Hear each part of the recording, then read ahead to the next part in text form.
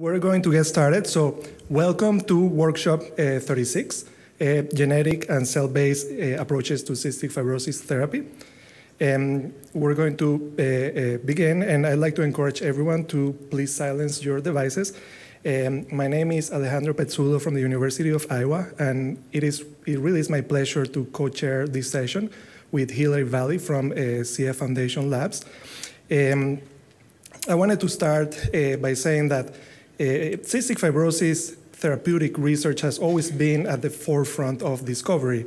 And um, it, it, it is really exciting uh, that today we're going to um, see and listen to work from academia and industry uh, related to how to deliver uh, genes uh, um, uh, and, and, and how to edit the, the genome uh, in order to affect cellular function and hopefully cure all people with cystic fibrosis. Moreover, as is often the case with cystic fibrosis research, I think the implications of what we're going to see today go beyond cystic fibrosis itself to all of human disease. Okay, so just a couple technical issues. Um, please um, uh, try to um, submit your questions uh, uh, through the Q&A if that's how you prefer to do it. So going to the session, workshop 36, and in the bottom, in the, you, you can select the Q&A. Additionally, we will also encourage everyone to ask questions live. We actually have two people that will go around with a microphone, okay? So I think that will be a great way to, to, to, to do this more interactive. Um, so without further ado, uh, I'd like to introduce uh, Norman Allaire um, from the CF Foundation. Uh, if you can please come to the podium.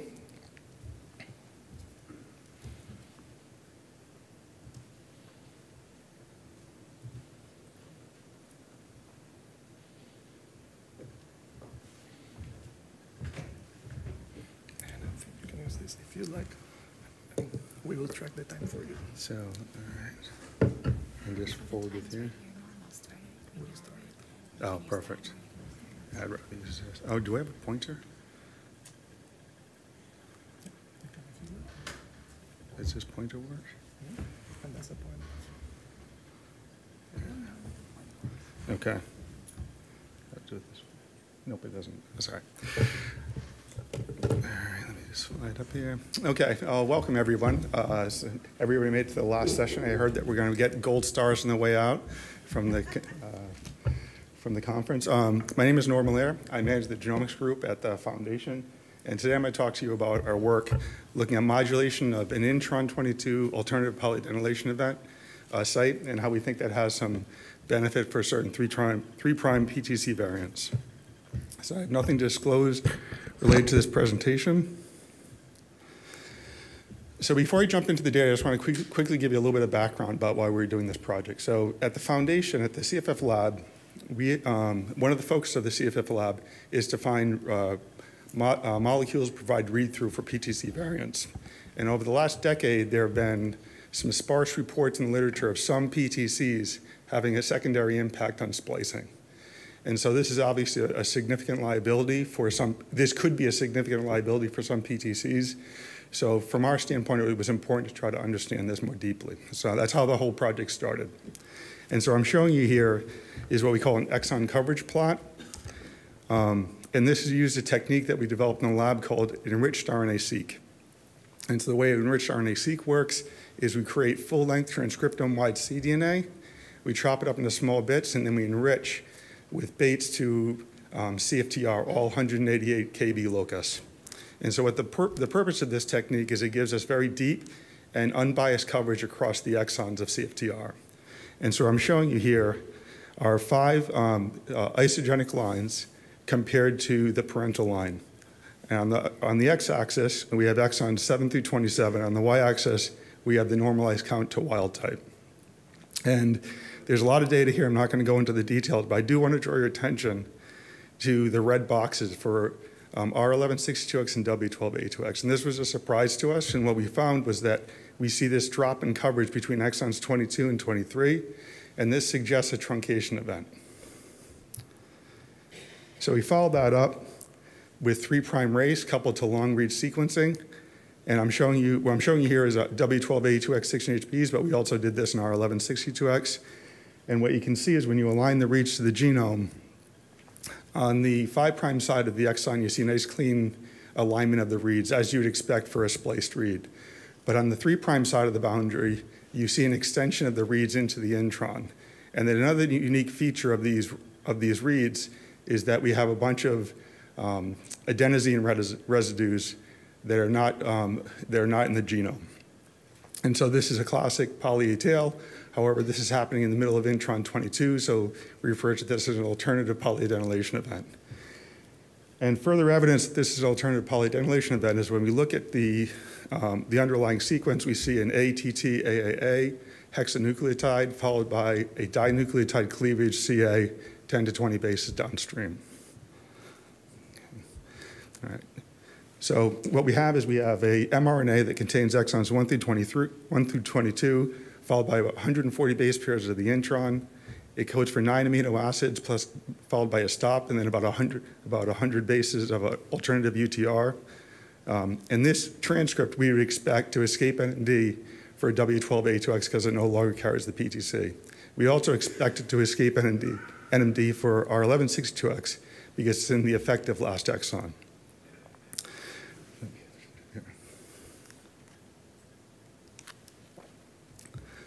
So um, this gives rise to a protein of 1239 amino acids plus nine amino acids that's missing NBD2, and we expect this protein to have some partial function and to be, um, uh, we could stimulate with uh, 770. So we, um, we wanted to know if this is really true, that these transcripts are actually resistant to NMD. And so serendipitously, we had a cell line, which we call the I22 SAT line, which stands for splice acceptor disrupted line. And this line, this line was made to skip exon 23.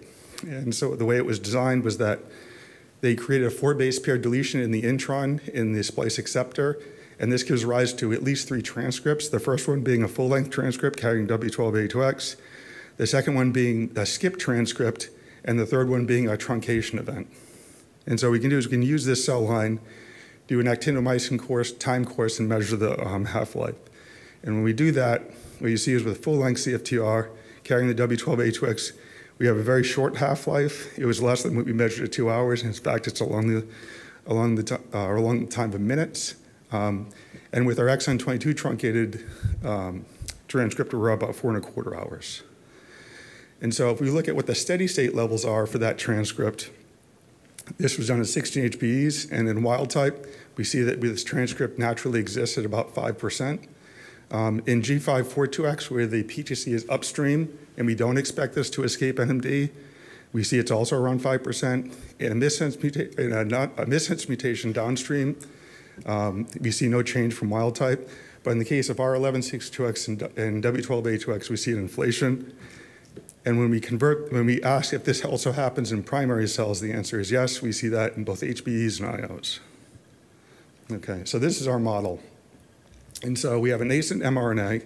In the case of W12A2X, we, with proper splicing, we create a full-length transcript that's under NMD. And then we have usage of an alternative polyadenylation event that gives rise to a truncated transcript that escapes NMD. So thinking about it from a therapeutic standpoint, we said, well, if we were to block um, exon 22, 23 splicing, we should promote the use of the alternative polyadenylation site, and we should drive up levels of the transcript the truncated transcript. And so we worked with Hillary and our gene editing team, and she created a line for us that's going to force the use of the alternative polyadenylation event. And what she did was she, she deleted exons 23 through 27, and below we have the desired edit. This contains all of intron uh, 22 with all its 11 polyadenylation sites. And so if we look at the mRNA levels from, the, from wild type, um, full length, we have about 110,000 copies when normalized to some massive 40 nanograms of RNA. If we look at the truncated transcript, we see about 10%. This is very in line with what we normally see. But in our three clones that have that proper deletion, we see about a 12-fold increase in the truncated transcript. Okay. And if we run Westerns on the same three clones, I'll draw your attention to the, the last three line, the last three lanes. We have wild type, we have band B and band C. These are all plus and minus um, 445 and 661. We have an exon 22 truncated cDNA transfecting to hex cells. It gives us a, a truncated band B and band C. And then we have our three clones, and you can see that we're getting truncated BNP and BNC with all our clones. And lastly, if we um, run function on those, the tech assay, um, and the top four panels is with vehicle. And if we look at w-1282x16hbs we see that we have no response with 770 as expected. But with our three clones, we see no force clone response as expected, but a, a nice response with 770. And if we do this in the background of 445 and 661, with W1282X, we get a very small bump that's probably not therapeutically meaningful. Um, however, in our, um, in our three clones, we have this nice bump. And if you're a non-electrophysiologist like me, you can look at the left, the right panel, and you can see bar graphs, and this is in, in terms of percent wild type. Um, and you can see that we're getting somewhere between 16 and 25% wild type. And I don't have time to show the data, but if I take our best clone and we do a dose response with 70 70, 770, we can drive that up to about 50%. So I'm not proposing that we're going to delete exons 23 through 27 from patients. I think I'd find a pink slip in my office from Martin on Monday if I had said that. Um, so what we are going to do is we're going to try to use ASOs to block splicing. And so we had done some exon, uh, some nucleotide walks to find optimum, optimum ASOs to inhibit the splice donor splice acceptor side. And these are our SD18, SA08. And this is mRNA again. Um, the yellow bars are untreated, and you can see as Trikafta has no effect, as you'd expect. Um, and when we treat with SA08, we see about a twofold increase. When we treat with SD18, this is our splice donor, we see about, we go up to about 60,000 copies. And then finally, when we treat the combination of our splice donor and splice acceptor and try to completely inhibit splicing, we get up to about 80,000 copies. Remember before I said 110,000 copies is what we think wild type full length levels are. So we're getting a nice effect in this. Um, this is work that was done by Jay Yoon in our group. Um, he ran westerns on these, and he started by running a nice series of controls. Um, and I'm showing you these first. And this is a western that is with uh, PNG ASF uh, deglycosylation. So we're now no longer looking at band B and band C, we're just looking at the length. And so if you look at our control lanes, we have wild type, we have the 23 skip, we have W1282X, and then we have exon 22. The last three are in cDNAs. And if we look at the effect um, in W1282X, our control line, our, our W1282X um, uh, vehicle treated, you see a doublet, which represents the, the W1281 as well as the 1259 plus 8. Um, and when we treat with either SD18 or SD18 and SA8, plus and minus uh, 445 and 661, we see a reversion. So we're driving everything towards the truncation and we're losing the 1281 bend. Okay.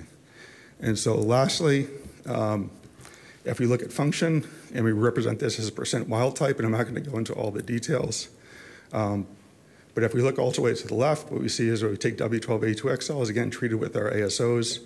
Um, vehicle treated, we have, um, we have no response. If we have 445 and 661 in W12A2X, no ASOs, we have about 3%. And if you look all the way to the right, if you take those same W12A2X cells and just treat with our ASOs, we get about 2.3%. And then if you um, put that on top of Trikafta, you get about 13.4%. So in summary, uh, we have identified a, a, naturally occurring truncated mRNA um, at exon 22 and it results from the use of an alternative polyadenylation event or site.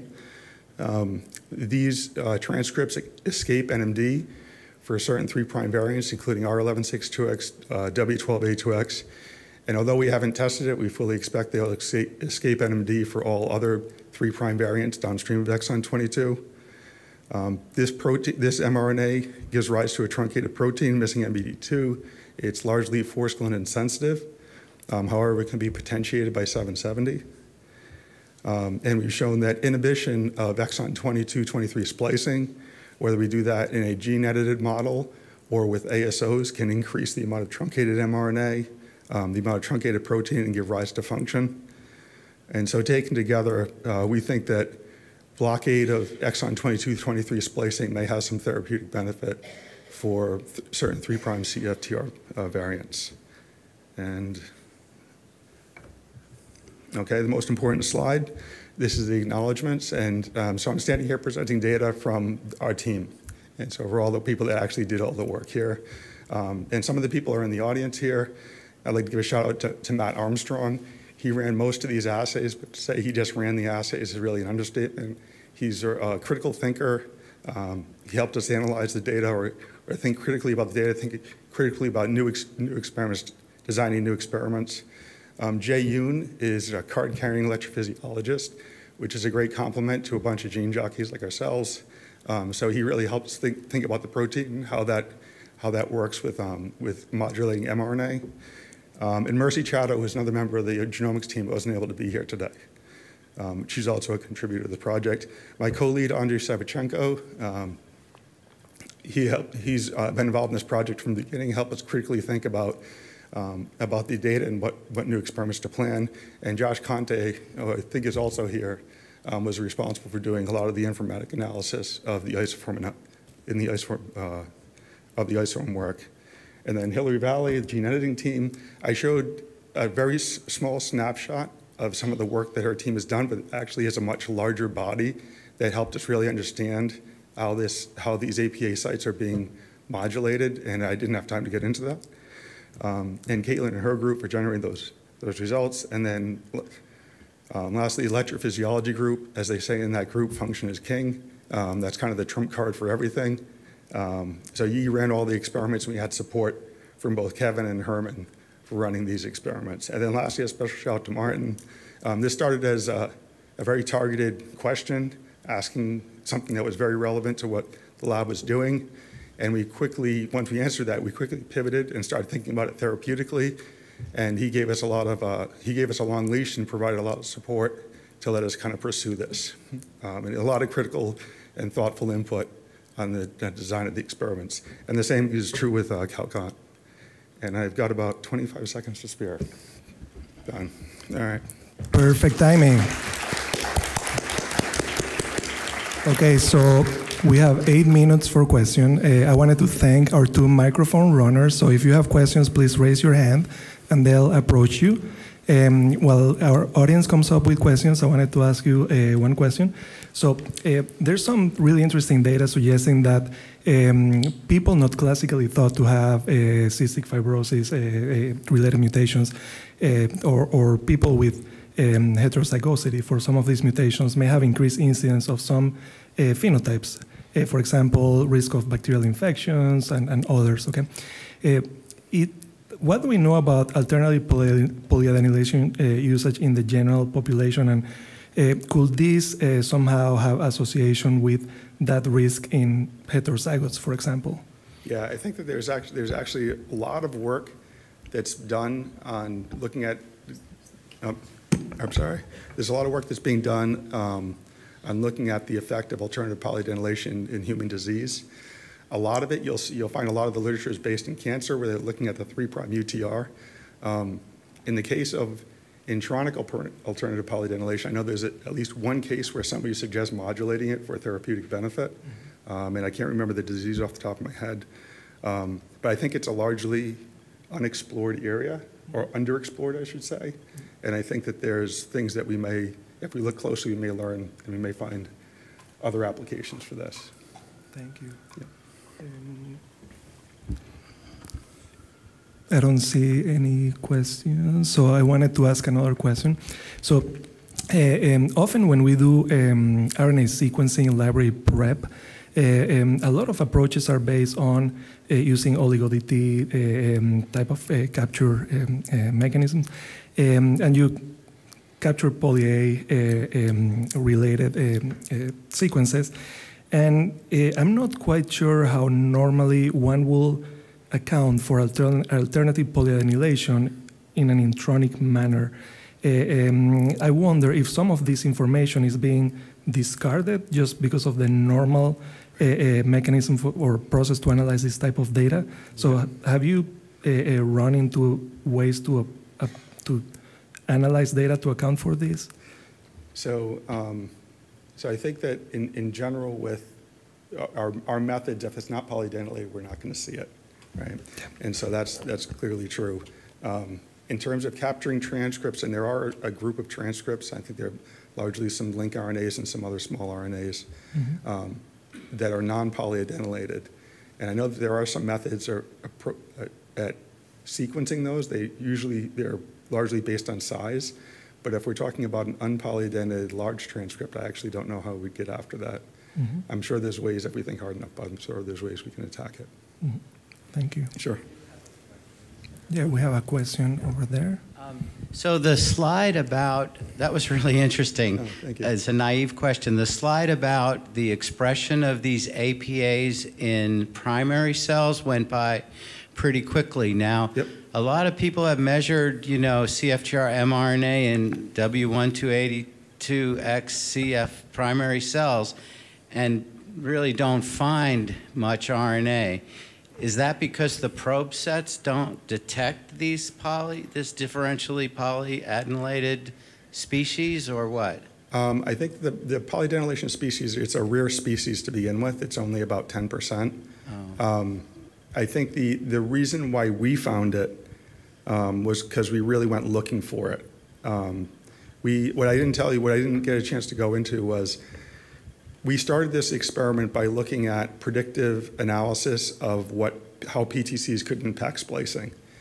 And R1162X and W1282X were suggested to have the largest impact on splicing from a predictive standpoint.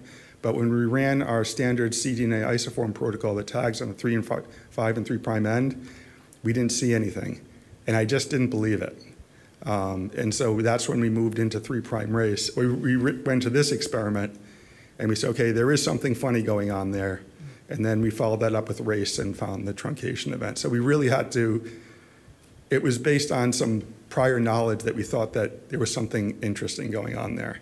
But if you weren't looking for it, you probably wouldn't see it. Thank you. Sure.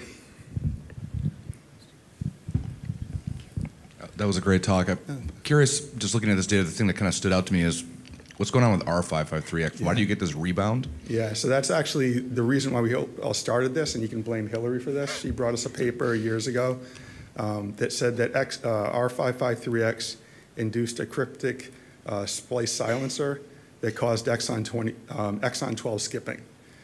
And so that's what we were originally looking for. And then we said, well, why don't we expand it to all PTCs?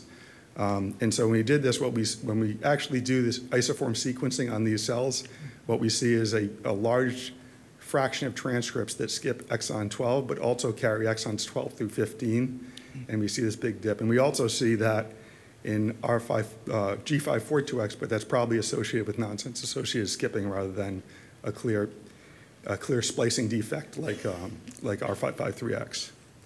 And uh, one more question about like just SNPs in that intron. That of all the sequencing you've done, have you ever seen SNPs that affect that APA site? Um, we, not in this, a lot of the work that we've done has been in um, the 16-HBE line. So in the 16-HBE line, no. But is there, is there SNPs out in the wild? We haven't looked at that, but it's a good question. Yeah. What about SMUG6 cleavage, like right at the PTC, and then degradation of the transcript right around the PTC? Would that not a- account for any, the G542X drop and the R11, R553X drop in both of the R1162X and W1282X? Yeah, it's a good- At those exons, Yeah, yeah, exactly. yeah. So I think that, um, I mean, that's definitely a possibility. Um, I think that in the, in the case of R553X, the fact that it creates a cryptic splice silencer um, suggests, I think what you're referring to is the nonsense associated skipping, which is certainly a- an issue, and I think that's probably more the issue with G542X. But with R553X, I think we have real evidence, or real, it suggests that there's something more than just, um, just degradation going on. But it's a I'll- really, really good question. Also, like we always see a truncated W1282X band that kind of stabilizes upon like read-through Yep. drug addition. Yeah. Do you think that's that alternatively polyadenylated form? I think that there, I think that when we see truncated transcript in W12A2X, we're probably seeing, um, we're probably seeing something like this, and we're probably it's it may be two bands that we're, we're thinking are one, or sometimes we might think they're band B and band C prime, um, but I think that what we're actually looking at is actually a truncated in the W1281. do have some successful pioneer of, uh, of translation Can you please repeat your question? No, it was not a question. I was just c- commenting. So I think you stabilize actually both products because with read reagents you will have some successful pioneer rounds of translation. So that would also stabilize the full-length transcript. But then in subsequent rounds will still give rise to the truncated protein uh, with the stop, right? So yeah, I think you get both really in the end. Yep. Okay, we've run out, out of time. Thank you very much for a great thanks for your presentation. attention, everyone.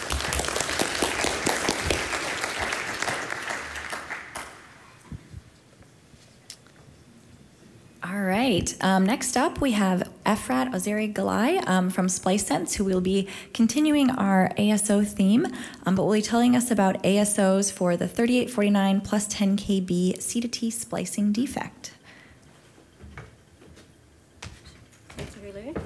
Um, and I want to thank the chairs and organizers for inviting me to tell you about the SPL 84 SpliceSense First program for, um, for cystic fibrosis. And really, this is the really exciting times at SpliceSense, and actually for me personally, as I had the privilege to see this project go from an, an idea and a bench product at the lab of Professor Batsheva Kerem to reaching these days first in human clinical studies. Sure, sorry. This is the important part. So uh, we've heard about a lot about ancestral oligonucleotides and a different point of action uh, during the plenary, but I just repeat um, that oligonucleotides are really short, single-stranded RNA molecules that bind specifically to the target RNA and can modulate it. They can act by three different modes of actions. They can either decrease the production of target proteins, they can restore protein function, or uh, modulate the RNA in order to produce modified uh, proteins. We at Splicens are using all of these modes of actions in our different programs. Uh, four modalities drive Splicens as a platform technology company. The first one is our robust genetic and clinical understanding of pulmonary diseases and cystic fibrosis, as well as our deep uh, understanding of splicing uh, mechanisms and factors that actually stems from uh, our scientific uh, founder, Professor Batsheva Kerem, was part of the team that, that found the CFTR gene 30 years ago. Um, using this know-how, we, we are uh, finding target RNA targets for different pulmonary indications, and uh, for these targets, we are designing antisense oligonucleotides using our in-house uh, computational algorithms that are optimizing different characteristics uh, of antisense oligonucleotide, including the efficient binding uh, to, to our targets, masking of splicing elements, as well as avoiding off-targets and immunity effects. Um, we then select our lead candidates using our in vitro and in vivo model systems, um, and uh, they are delivered into the, in, into the patients using an inhaled delivery system. Uh, Splicens has a diverse pipeline, including four different indications uh, within or programs uh, within the CF uh, in different uh, stages of the development. As you can see, the, our most pro progressed program is SPL84, entering clinical studies. The second most progressed is SPL23, which actually um, induces exon 23 skipping, as we uh, similar to what we just saw uh, in the previous presentation, and we have additional two indications. We have um, additional indications for more large pulmonary indications, uh, such as muco-obstructive diseases and IPF. So today I'll concentrate on SPL84. It is an antisense oligonucleotide drug uh, for patients carrying the 3849 mutation. And there are approximately 1,500 patients carrying 3849 mutation in the US and in Europe. Uh, in the US, the FDA approved two modulator drugs for this mutation, Kalydeco and Symdeko. However, both of them show limited improvement of lung function in patients, in the 3849 patients, of course. Um, and in fact, in Europe, when considering uh, the cost versus the effect uh, of these drugs, uh, these drugs were not approved for 3849 mutation. So SPL84 is intended to uh, provide an efficient treatment specifically for 3849. And how does it work? The 3849 mutation is actually a base substitution mutation within intron 22, leading to the inclusion of a cryptic uh, exon that includes a PTC. This leads to either degradation of the RNA or to the formation of a non-functional uh, CFTR protein. SPL84 binds uh, specifically to the cryptic exon uh, region, and by this induce uh, skipping over the cryptic exon and actually produce a completely wild-type full-length uh, mRNA and a fully functional CFTR protein um, that can potentially, hopefully, provide a cure for the lung function in uh, patients carrying 3849 mutation. We've done an extensive work uh, to characterize the effect of SPL84 in, in, primary cells from patients. Both H&E and HB cells were analyzed. This was done in collaboration with the lab of Professor Isabelle Sermet. Uh, we, uh, the cells were analyzed using, of course, the Using chamber. We can see results from a homozygote patient, HB cells from a homozygote patient for the 3849 mutation. As we can see here, um, uh, we start from a low basal activity and following treatment, and this is free uptake of SPL84 uh, to the primary cells, we reach levels, full restoration and levels of wild-type CFTR activity. And interestingly, uh, when we treat the cells with Symdeko, which is the available modulator drug for this patient population, we see no effect um, on CFTR activity, and this is in correlation to what we know is happening in the clinic. And we went on to analyze cells from heterozygote patients. Uh, as you can see here, I'll just say that in heterozygous patients, since we have only one 3849 allele, we can reach 50% of wild-type CFTR activity. Um, and what, what you can see here is that we sampled five different uh, heterozygote patients uh, for H&E cells. They're, they have different uh, uh, mutations on the second allele, and in all of them, we, we, saw full restoration of the CFTR activity, reaching an average of over 40% of, uh, of wild type. And this was seen also in HB cells from heterozygote patients. When we think about heterozygous patients that are heterozygote for 3849 over F508del, uh, the approved drug for this patient would be Trikafta, and we all know that it's very efficient for treatment of the F508del mutation. So we tested what would be the combinational effect of both drugs together. What we could see is that first, when we treat with Trikafta or SPL84 alone, both of them lead to, to a restoration of CFTR activity in comparable levels, approximately in this patient 40% uh, of wild type. But when we combined uh, both drugs together, we reached a, a, higher effect, reaching almost 70% of wild type, indicating that they have an additive effect.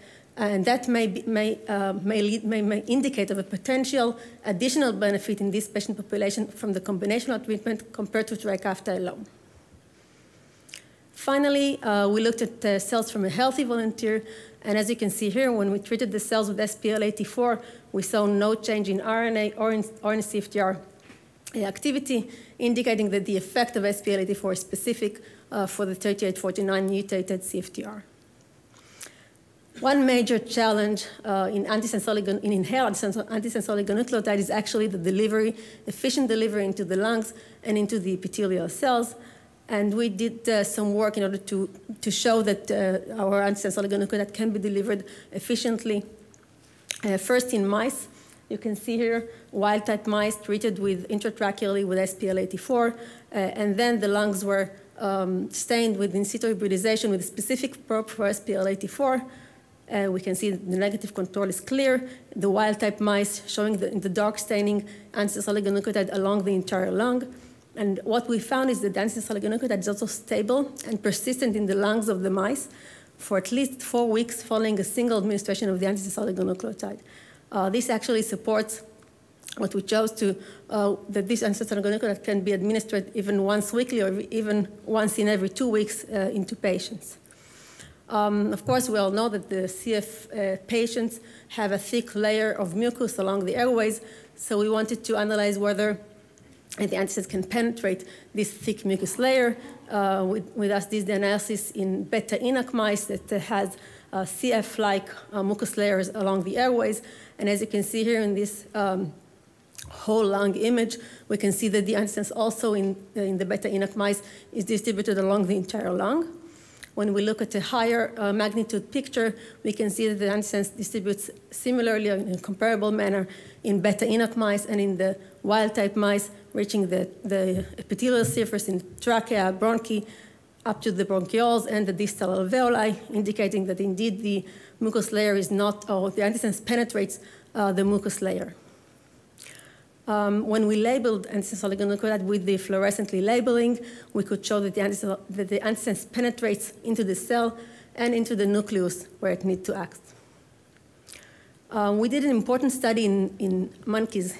The monkeys were treated with actual inhalation of the antisense oligonucleotide, four weekly doses of SPL84 when given to the monkeys, following by the same analysis when in situ hybridization with a specific probe. We can see that the antisense um, is distributed along the entire lung from the proximal to the distal regions, and the higher magnitude images could show that the uh, it penetrates into the epithelial cells from the bronchus to the bronchioles and up to the distal alveoli. And this very nice uh, large, large uh, magnitude image could indicate that the antisense is also entering into different types of epithelial cells, uh, including the uh, secretory cells, which we heard a lot about uh, during this conference, as, and the uh, ciliated cells. So overall, our analysis in mice and in monkeys could demonstrate that antisense oligonucleotide, when given by inhalation, can be distributed along the entire lungs can penetrate the CF-like mucus and is entering into different type of epithelial cells and even into uh, the nucleus where it interacts. Uh, we have now successfully in Splicens uh, completed a nine-week uh, toxicology study and safety pharmacology studies. Our nine-week toxicology studies found that the NOEL was at the highest tested doses in both mice and in monkeys. We also did, as part of these studies, a pharmacokinetic analysis that shows the, that the uh, systemic exposure, that the antisense has a very low but dose-dependent systemic exposure, and that there is no accumulation of the antisense oligonucleotide post-treatment. and these uh, studies support initiation in, of, of, phase one, two studies. Um, and this is the, the plan for our phase one, two studies. It's composed of two parts. Part one is a classical safety study in healthy volunteers uh, receiving ascending doses of the antisense oligonucleotide. And the part B will be done in 3849 uh, patients that will be treated with eight weeks of SPL84, uh, either once weekly or once in every two weeks. And in this part of the study, uh, in addition to the safety analysis, we will also analyze the improvement uh, uh, in lung function in the patients. So to summarize, overall, uh, Splicens really is a platform technology company developing antisense oligonucleotide uh, for pulmonary therapies. We have a robust inhalation approach. We showed that the antisense shows proper penetration, migration, and stability uh, in mucus. We have a diverse pipeline from orphan indications uh, to mutant indications. And as, as, I said, very excitingly, our first program uh, is entering clinical studies these, day, these days, and our second program is aimed to enter clinical studies in 2023. Thank you, and I have a lot of time, so.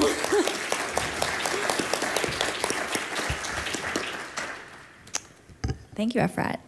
Um, just a reminder, if the audience has questions, you can just raise your hand. Let me see if we have any online. In the meantime, I think I will start with one. Um, I don't remember if it was for 3849 um, plus 10 kb specifically, but I do remember Bathsheba showing at one point really dramatic variability in the levels of aberrant splicing in some of these CF patients that have splice mutations. So in terms of the amount that splicing, like using the cryptic splice site versus the amount that might actually be, be producing um, wild type splice CFTR. And I was wondering if you saw any relationship between how much natural splicing the patients have and how much their response was. I mean, your, your error bars looked quite good in the HBE studies, but you know, do patients that have, um, or, or I guess in this case, cells um, that have less wild type splicing, are those the ones that are responding um, more to the ASO, or, or, do you have any insights into that? Uh, yes, actually, you're right. For 38, 49 patients, they do have a variability in the the baseline level of wild type versus uh, yeah. cryptic uh, splicing. It might be the small numbers, but we didn't see um, a, a, correlation or something that indicate. But actually, most of the all of the cells that we, we sampled and took showed really high effect of the antisense, and they, they didn't have a really high uh, baseline activity to start with. So, okay, yeah, yeah, thanks, Kate. Thank you, and beautiful work, and really, really exciting for all the things that are coming into the pipeline. Your first study is in healthy volunteers. Is that with the CF ASO, or is that uh, just with a generic one? No, I'm, with I'm the not CF sure with the, with the specific SPL84 ASO, yeah. And the idea of going into healthy volunteers first is just for safety, and then you would move in. And and how many how many people have this mutation? So as I said, in, in US and Europe at least, uh, there are 1,500 patients 1, having this mutation. Yeah. Okay, excellent. Uh, my, my second question, if I could, is, is the dark staining, you may mm -hmm. have mm-hmm. said it. How, how do you get that staining? Yeah, so this is in situ hybridization. It just, we, we have a specific probe, which actually is a sense sequence that binds specifically to our antisense oligonucleotide and detects it. Hello, thank you for a nice presentation. Um, I might have missed this, but is this um, oligonucleotide delivered as naked DNA, or Yeah. is it formulated into No, some right. lipid component? maybe I didn't uh, explain that. Yeah, so basically all ancestral oligonucleotide drugs, uh, I, I, might say that it's very different from siRNA or from long RNA molecules. There are short, approximately 20 nucleotide length, single-stranded, gen- uh, which are chemically modified, and they're just uh, delivered in cell line. Simple formulation of cell line, yeah. So uh, my question is kind of tied to the previous talk as well. Um, so with this particular splice variant, which is in intron 22, it causes a pseudoexon inclusion, which will result in the termination of the transcript in intron 22. So the previous talk has talked about the stabilization of the transcript, which is in intron 22.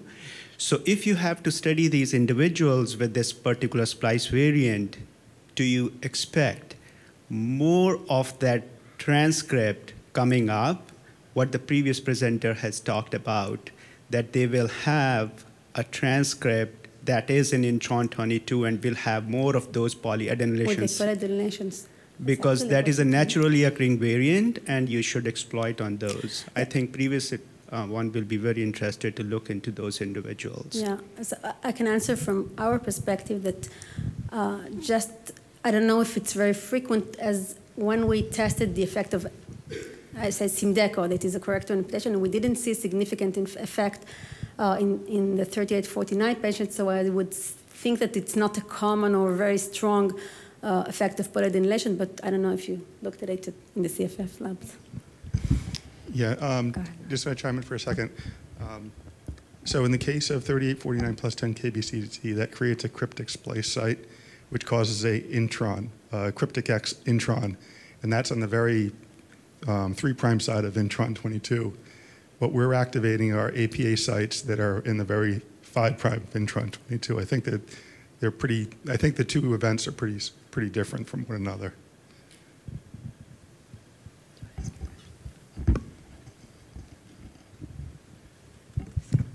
Great presentation, thank you. Um, I wonder whether you can comment on the immune response which is associated to the delivery with the delivery of the antisense, um, single doses or maybe multiple dose um, administrations.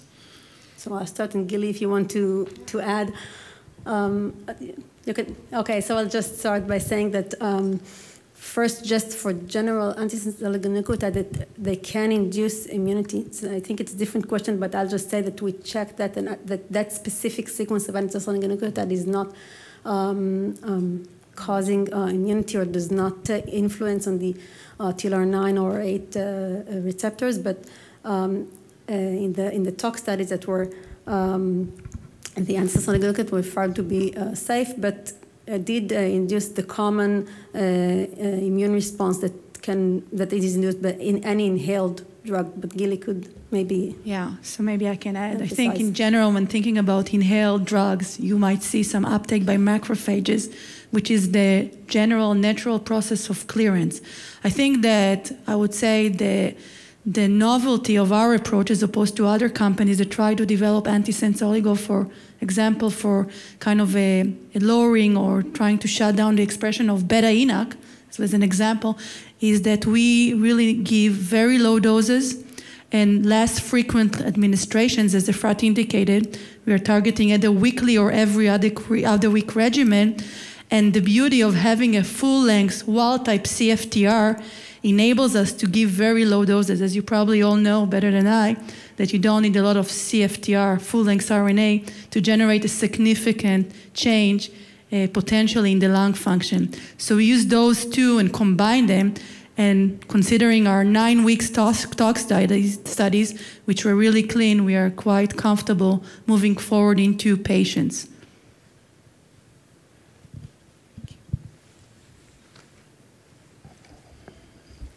I have a question.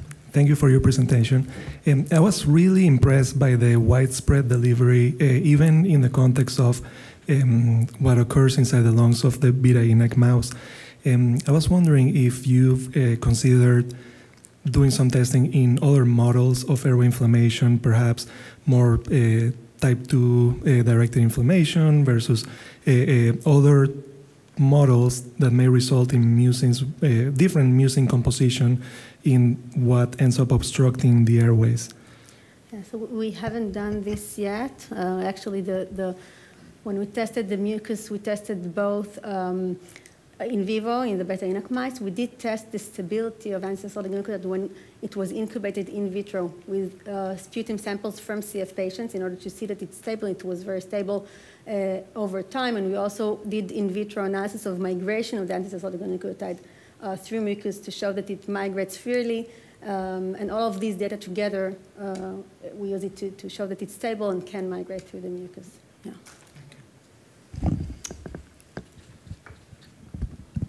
Very nice talk, thank you. Naive question, did you try IV delivery to see if you could target other organs?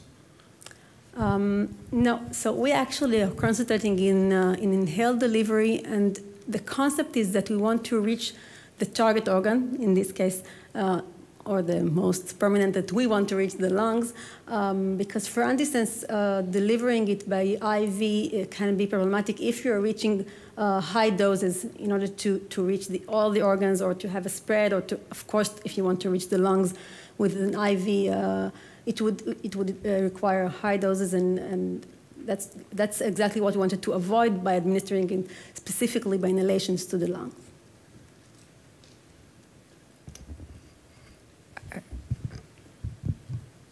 Uh, for the doses you're using, what's the nebulization time, the treatment time? I think, oh yeah, Gilly. The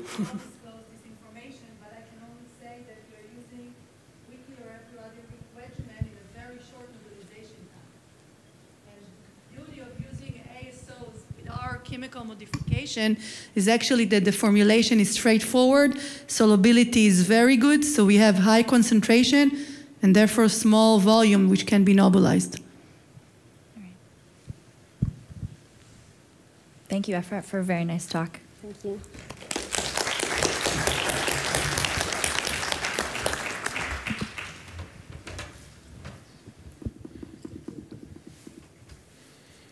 Okay, so our next presenter is Dr. Karen Scheld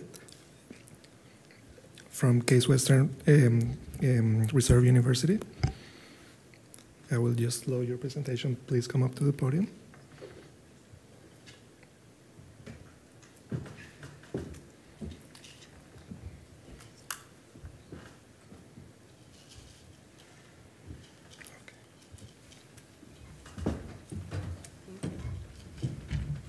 Thank you so much. Let me just change this one. Yes. Thank you so much for introducing me, um, and thank you so much for letting me present what we have done at Case Western Reserve University. Um, today I'm going to present a reporter system in mice where we can determine delivery and duration of genome edited or transplanted cells. And as you can see in the photo here, it's based on imaging, and we will use both fluorescence and bioluminescence.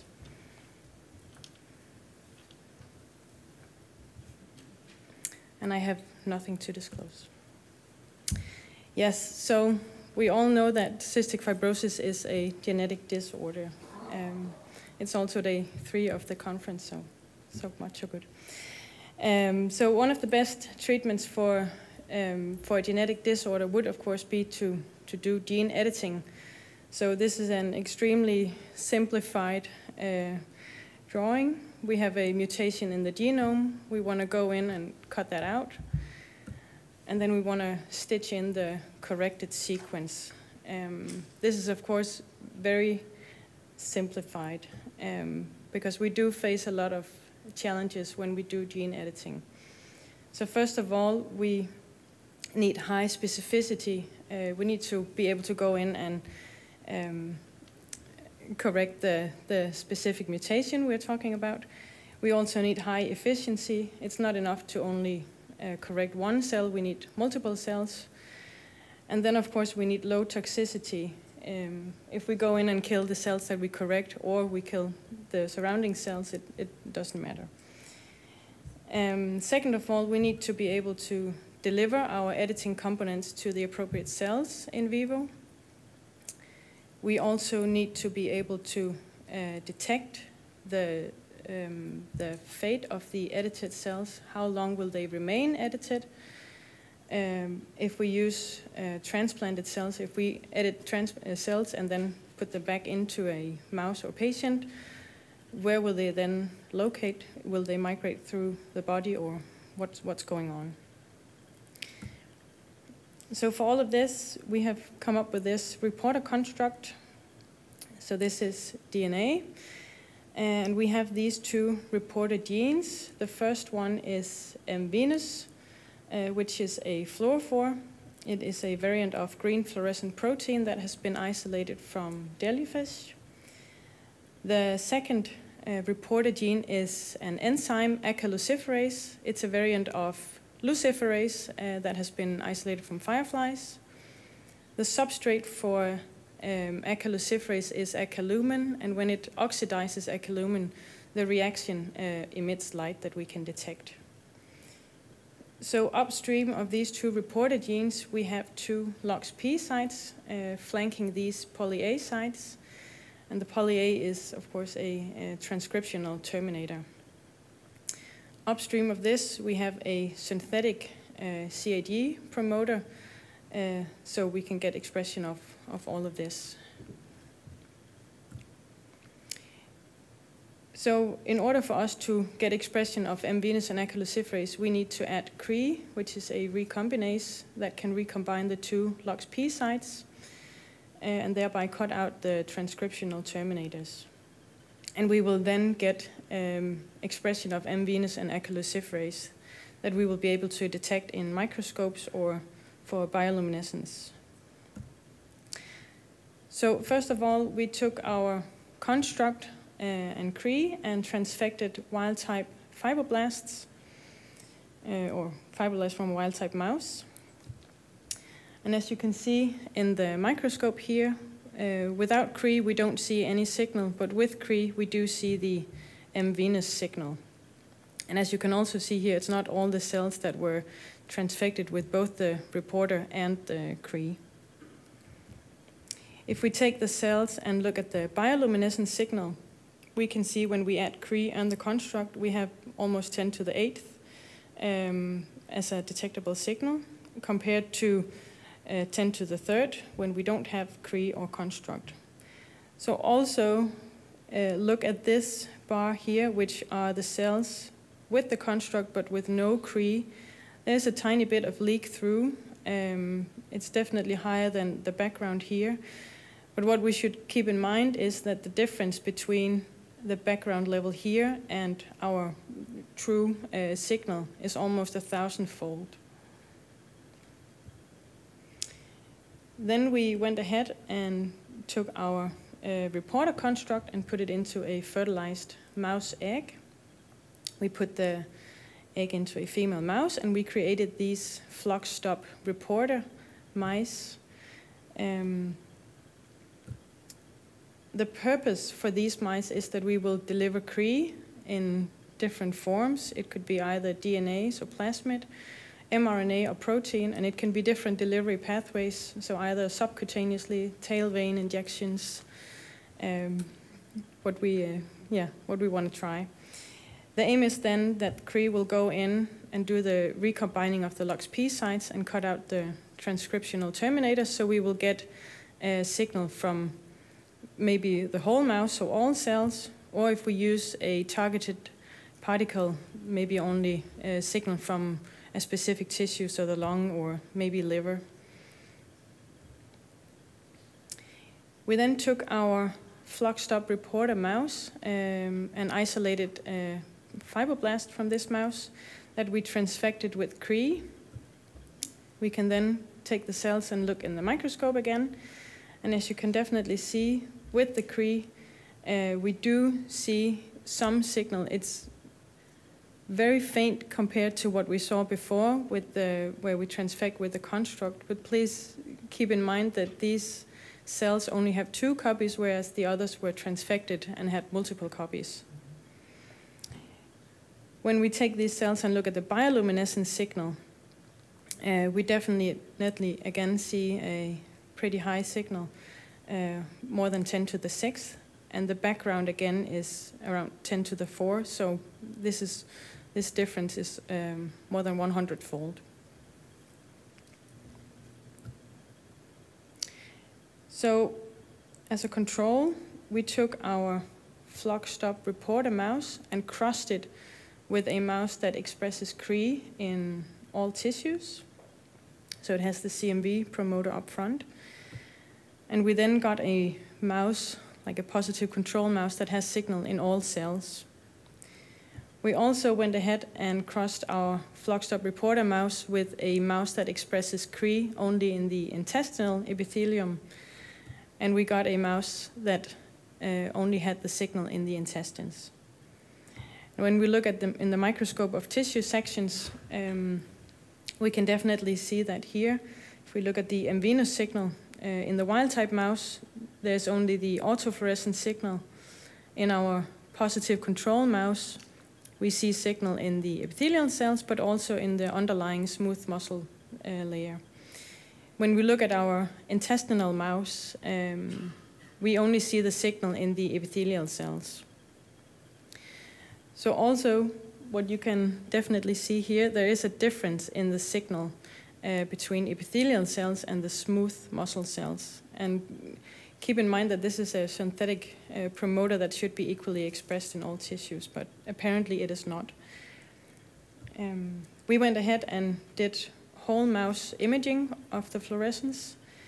Um, and as you can again see here, muscles uh, have a much higher signal compared to intestines and compared to liver. So, so different tissues uh, express, um, or something happens to the M. venus signal in different tissues. And this is uh, something we are still investigating. Then we uh, went ahead and looked at the different organs, different tissues. Uh, so this up here is fluorescence. The first half of this 24-well um, plate is uh, tissues from a wild-type mouse. The second half is from our positive control mouse.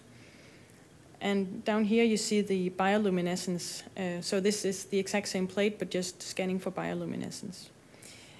As you can see here on, in the graphs that shows the signal from the different tissues, uh, M. venus expression is highest in the uh, muscular, the femoral muscle. And that's the one down here. What is then puzzling us is that the bioluminescence does not correlate with the fluorescence. So the muscle down here does not have the highest signal when we look at bioluminescence. That is actually the lungs or the duodenum, as you can see over here in the graph. And this is again still something we are looking into, what, what happens to the proteins when they are expressed. But look at this beautiful picture of our uh, bioluminescence. These are the four different mice that I have been um, talking about. So our wild-type mouse with no signal, our flock-stop reporter mouse, uh, so without Cree, also has no signal or very low signal. And then we have our intestinal mouse that only shows signal in the intestines. And then we have our positive control mouse with, cell, uh, with signal uh, all over the, the mouse. If we go in and look at the different regions, if we do some quantifications of the signal, um, I did like an abdominal region and a thoracic region to compare the signal. Um, then you can definitely see in the intestinal mouse here um, that there still is this 100-fold change. So if we go in and deliver Cree to our flockstop reporter uh, mice, we if and if we hit a full organ like the intestines and hit all the cells in the intestines, we will be able to detect that. But that is a lot of cells. Um, so the next step was for us to go in and, and actually see how many cells do we need to edit um, to be able to detect them with this system. So we took our positive control mouse, uh, isolated fibroblasts from that one, and put them into the lungs of a wild type mouse. And we used our uh, mouse bronchoscope that delivers these cells very gently to the lungs. Yes, so this is the bioluminescent image of the study. Uh, the first mouse got 10 to the 7th cells into the lungs, the second 10 to the 6th, and 10 to the 5th, and then zero cells. And we can definitely see the difference between the thoracic region and the abdominal region when we give 1 million cells. And this is for live imaging studies, so no mice were sacrificed for this.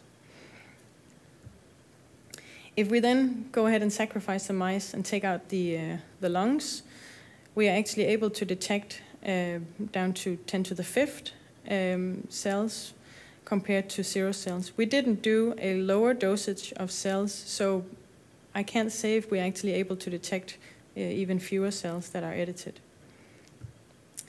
When we look at the fluorescence, so these are the exact same lungs, just looking at M. venus, we need at least 10 to the seventh uh, cells that are edited in order for us to see that signal. So fluorescence doesn't work with our um, imaging for this. It, it's more for microscopy of, um, of tissue sections. Yes, so the next steps will be uh, to go in and compare the fluorescence and the bioluminescence from the different tissues and figure out what's going on. Um, then we want to go in and test different uh, delivery strategies for our mice, so do different nanoparticle systems where we use Cree as the cargo. And I put my email address up here, so if you have a good nanoparticle in your lab, please, uh, please contact us so we can go ahead and try that. After we have delivered Cree, we want to go in and see for how long um, can we have these uh, edited cells, and if we need to give multiple dosages. And then another step is uh, to go in and instead of using the, the Cree and the LOXP upstream of our reported genes, then uh, use a small part of, for example, CFTR. And we have already started this part as well.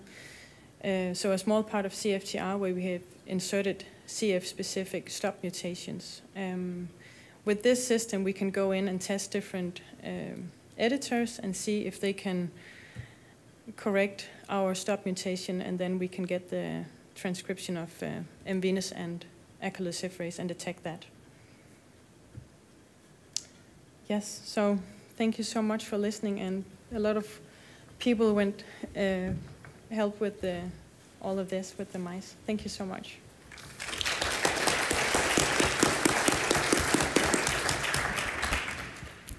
Thank you very much for your presentation. Uh, we can take some questions now. I wanted to start by um, asking you a question. So, so um, first, I wanted to say, uh, um, I hope you're ready to start scaling up because I have a feeling that a lot of people will be asking you uh, uh, to share these mice.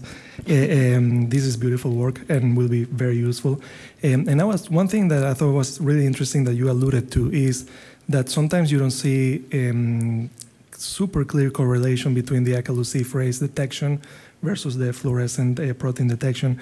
And that just made me think about, is, is there a way that you can use this um, occasional discrepancy um, to better understand mechanisms of attenuation of fluorophore detection?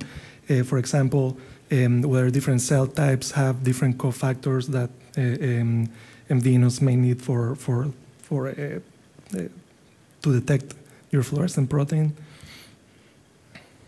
The easy answer would be probably. mm-hmm. Yes. Um, for example, I thought, um, have you looked at whether, so to take a step back, it looks like your signal to noise ratio is really great for the acyluciferase detection, which makes me think that within at least the linear range of detection, I wonder whether you can use that as your denominator, let's say, to normalize um, your detection to then go and understand what's happening to your fluorescent protein. Uh, um, and, and, and does that, the discrepancy correlate with um, factors that may be in different cell types uh, or, or uh, redox state that is often known to affect autofluorescence and things like that. I'm not sure I understand completely what you're asking. Yep. I'll, uh, um, I'll talk to you uh, a bit further yes, later. Yes. it's kind of a complex question, but uh, yes. Yep. It, it is complicated that we don't see the same signal uh, throughout the different tissues. Mm -hmm. And what we've talked about is many of the mice that we hear about in publications, they only look at different, like the, the target tissue. They don't look at the whole mouse. So mm -hmm. we Mm-hmm. don't know if, if this is what we see all the time or if mm -hmm. it's just us or what's going on. But there's definitely something going on that creates that difference. Yep, thank you. We have a question. Thank you very much. I really enjoyed your presentation. I have two quick questions, if I may. You, how good are antibodies to the AKA luciferase, and will you be able to look at um, single cells rather than, you know, just a global image? Yes, we, we can definitely isolate uh, the tissue and isolate single cells. Um, the, the M. venus and acalyciferase is expressed as a fusion protein, and we do have antibodies against M. venus. We don't have any at the moment uh, against uh, acalyciferase. Okay, and, and some of the next steps is also to go in and, and do Western blots and see in different tissues what is the level of, um, of, of the protein, that the fusion protein that's made. And my second question is related to delivery of gene therapy agents, plasmids, other things to the lung. I wondered if you have any plans to uh, cross your mouse with the beta ENaC mouse. We don't, but that might be a question for our mouse core. okay, thank you. So more, more of just a comment about the different expression levels throughout the body. I think it's known that ROSA 26 locus sometimes has different levels of expression in different tissues. The thing about antibodies in our experience with uh, EGFP expressing animals, in formalin paraffin sections, we could get much more precise and intense uh, expression levels of the fluorescent protein with antibody staining than with endogenous fluorescence. Yes, yes. And, and also we need to make sure that we don't degrade the M. venus protein uh, or, or the signal from it when we do the fixation and, and, and formalin. Hi, um, thank you for your talk. I was just wondering, have you been able to detect the M. venus signal using flow cytometry? Have you tried? Sorry, can I get that again? I'm, I'm looking for where you are. Hi, I'm Yes. back here. Yeah, I was just wondering if you've been able to detect the M. venus signal using flow cytometry. Yes, we have tried some. Um, I've mostly done it on, on already single cell uh, suspension, so from blood cells or bone marrow cells. Um, and the expression is not that high, and I think that that tissue just does not express that much. Um, one of the tissues that we want to go more into is the muscle, um, which has an extremely high expression of M. venus. So that would be our first uh, target. But no uh, uh, flow cytometry for that yet. Over here. Uh, two questions. One is dosage. Do you know how many molecules of Cre you need in order to flip the cell? And that may be important if you're delivering mRNA and you want to kind of get a sense of how efficient is the mRNA delivery. Second question is, once the M. venus and luciferase get turned on, is there an immune response in the animal against those proteins, since theoretically the animal has never seen those proteins until Cre was administered? Yes, so we haven't. We have some pretty old of our positive control mice that were um, crossed with Cree uh, all throughout the body, um, and they seem fine. We have some that are two years old, um, and they grow fine and they breed and everything. So I don't think there is anything uh, for that. But that is a good question because the immune response has not seen M. venus or before. Um, and your first question, yeah, that that I can't answer that question. that would be uh, someone from my lab. very, very little Cree is required. and to your, your question about um, immune response, uh, I think as we're finding these things um, are leaky, and so they've probably already been exposed to the antigen early during development.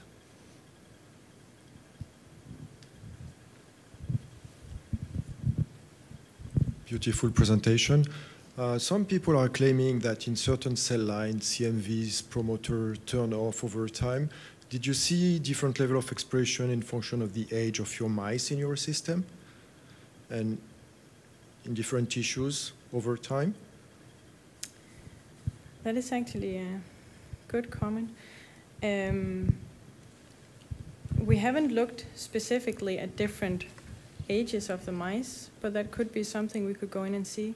The mice we have scanned so far um, all show high signal, but that has been like a whole body signal, um, and that has been consistent with all the mice we have seen so far, um, different ages. But we haven't done uh, like different organs, tissue-specific scans, um, but that could be something we could go into. Thank you. Okay, thank you very much for a great presentation.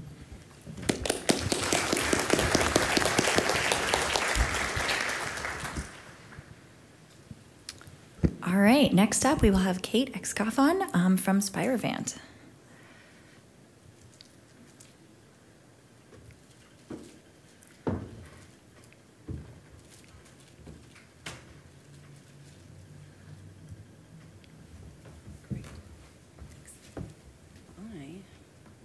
I am going to put on a laser pointer here too. So um, thank you to the organizers and thank you to everybody who's still here listening to the talks right up to the very end. It's a great pleasure to present our delivery of SP101 restores CFTR function in human CF airway epithelial cultures and drives human CFTR delta R transgene expression in the airways of ferrets. And my disclosure, I'm VP of Research at Spirovant Sciences, and the other authors also are uh, employed by Spirovant Sciences. And so it's a really great honor to be able to present to you today about SP101, which is a novel inhaled adeno-associated virus or AAV-based gene therapy designed specifically to treat cystic fibrosis. So our major design features is an AAV capsid that was selected for tropism to the apical surface of human airway epithelia using a directed evolution approach. Inside of that capsid, in the genome, we have the human CFTR delta R mini gene, which is a shortened version of human CFTR that contains a small deletion of the R domain, but still retains full function as well as regulation like wild type CFTR. It also contains the re regulatory elements, the promoter and poly-A, in order to ensure uh, promotion and, um, and termination of this. Our proposed clinical route of administration is via oral inhalation of an aerosol, first of SP101, followed by a small molecule called doxorubicin. And our believed mechanism of action is that SP101 has very high affinity to the apical surface or the air surface upon inhalation of this vector and is able to bind and efficiently enter into airway epithelia. Once in the cell, what has been shown previously is that doxorubicin is able to act as a proteasomal inhibitor in order to enhance not just our AAV, but general AAVs, to get to the nucleus and be able to then produce the RNA, and in our case, the human CFTR delta R RNA, which then can be translated in the cytoplasm into the human CFTR delta R protein for functional correction of CF airway. So the first question is always, is it functional? And so I have presented some of this data previously, but in this study now we have this across five different donors. And this particular data I'm showing you is in primary human airway epithelia from uh, donors with class 1 mutations. So those are mutations with stop codons and do not produce the full length protein. The, report, the vector was put, SP101 was put on the apical surface and doxorubicin on the basal surface overnight, and then removed. And a week later, we looked for chloride currents, so CFTR function via Ising chamber assay. And so on the y-axis, we have the peak uh, short circuit current, and on the x-axis is what the epithelia were treated with. And in this case, because these epithelia have stop codons, the Vertex triple modulators as our positive control were unable to restore any function in these epithelia. By contrast, SP101 with doxorubicin, even at a low MOIs of 500, but also at 5,000 and 100,000, were able to uh, improve the, the chloride transport to the levels of our non-CF control. Um, what is striking also about this data, not only do we see a dose response, but we also see the importance of doxorubicin in being able to mediate this expression. So in the absence of doxorubicin, there is very little to no chloride currents. Um, in poster 672, and I know the poster sessions are done, but you can still go look at the poster, uh, we show some really beautiful data that correlates vector genomes. So SP101 is mediating vector entry, and the doxorubicin is really then improving the RNA expression, which leads to the, the protein function. So I encourage you to go look at our poster. So what about tropism? Everybody's interested in tropism. and seems everybody's choice of what cells is, is, is changing over time. In this experiment, and, and thanks to Scott Randell and his group at Spirivation, primary human CF airway epithelium, in this case, they were homozygous for delta F mutations, were treated with an SP101 capsid containing the M-cherry reporter gene and again in the presence of doxorubicin. And seven days later, cells were fixed and five color immunostaining and confocal microscopy was performed. And so I know these, these combined images are a lot to look at, so we separated them out, and I first want you to look at this yellow staining here, which is representative of our M-cherry staining. And what you can see is this hits a large number of these cells, so 30 to 40% of the cells were positive for it. The question was then, what cell types were, were they hitting? And in this case, we stained also the cells for down here on the bottom, alpha tubulin, which represents ciliated cells in the white, and MUC5AC, which represents the secretory cells. And on the XZ image here, even though it's difficult to see, I've pointed out some of the cells that are, are also stained for M. cherry, and there were ciliated, non-ciliated cells, as well as these basal-like cells that were stained for the M. cherry. Um, many of the cell types were actually non-ciliated and potentially were secretory cells. So that just highlights this vector tropism is, is rather broad in the cells. And by contrast, in our control cells, you can see the M-cherry, absence of M-cherry staining, indicating that this staining is specific. So the next question is, does it work in animals? And uh, we chose ferret as our model to evaluate inhaled SP101. One of the major things is that these were selected on human airway cells.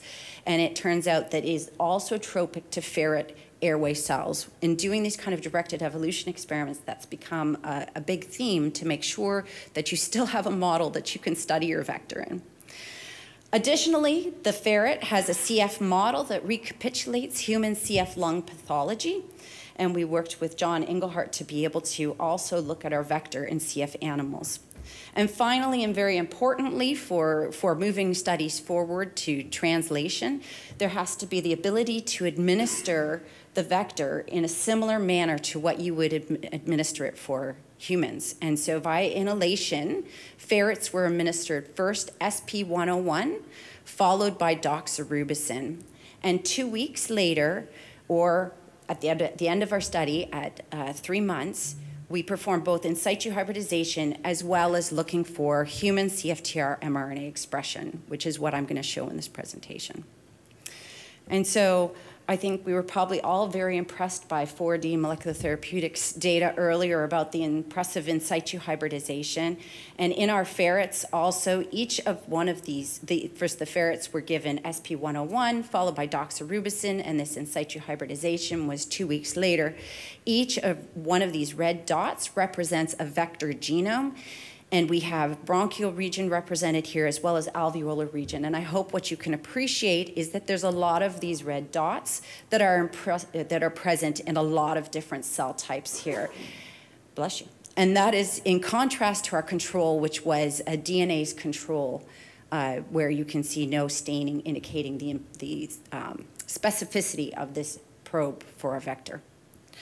So next is what what does that then translate into in an animal model? And so again, in these animals, delivered SP101 followed by doxorubicin, multiple regions of the airway were dissected out two weeks or in the next slide, 12 weeks later.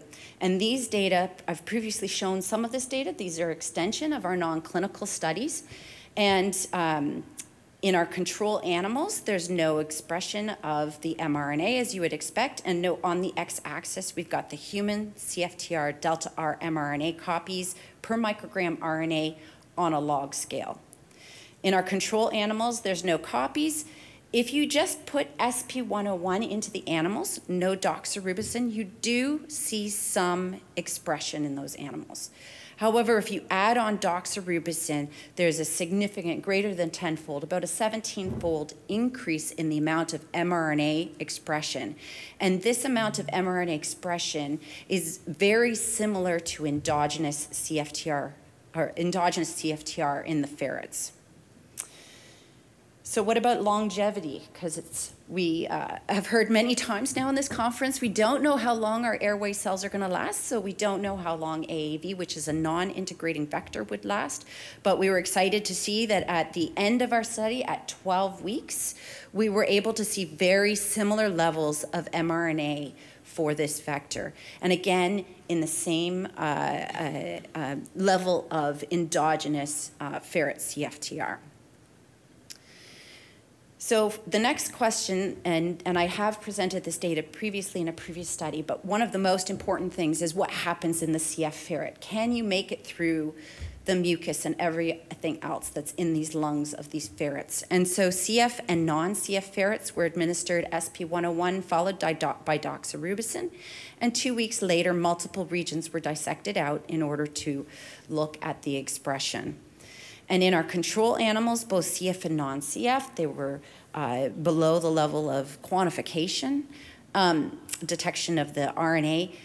And we were very pleased to see that both the CF and the non-CF animals had very similar levels of human CFTR delta R mRNA expression. So very exciting to think that the, the CF lung doesn't, and the mucus that's there doesn't hold a barrier to our vector and, and transfer. So in summary, SP101 holds great promise for people living with CF. What I've shown you is that CF, SP101 is able to functionally correct CF human airway epithelia very robustly. Doxorubicin is required for that efficient correction by SP101. It's tropic to many different human airway epithelial cell types as well as ferret epithelial cell types. Human CFTR delta R expression and CF correction are dose responsive, durable, and reach levels similar to endogenous ferret. And of great importance, the human CFTR delta R mRNA expression is similar in CF and wild type ferrets, suggesting that the CF airway is not an additional barrier to SP101 transduction. So finally, the acknowledgements, we want to acknowledge the assistance of the Cystic Fibrosis Foundation as well as Lovelace, um, the University of Iowa, and Spirovation in assisting us with these studies, as well as a large number of people at Spirovance. And if you want more information, I'm happy to answer questions now, but if you want to go back and look at this data, please, please take a look at our posters.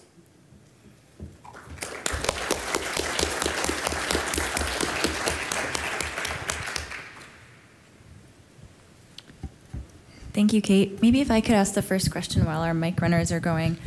Um, so you showed some really impressive um, expression data, and I was just curious because a kind of known problem with AAVs is potentially partial cargo. And so I was wondering if when you looked at your mRNA, if you knew that it was full length, or if you were targeting kind of the three prime end of CFTR.